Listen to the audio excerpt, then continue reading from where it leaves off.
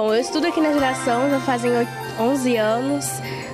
Fui recebida, fui aqui só para visitar a escola, acabei ficando. Cada ano, sei que vai fazer falta na minha vida.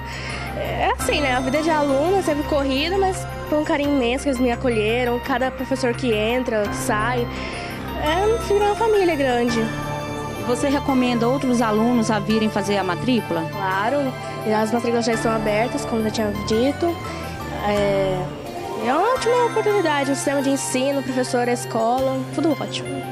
Quando você sair, vai ficar na saudade. Vai ficar na saudade, nostálgico. É inesquecível, né? Pro resto da vida. É inesquecível. Senti falta.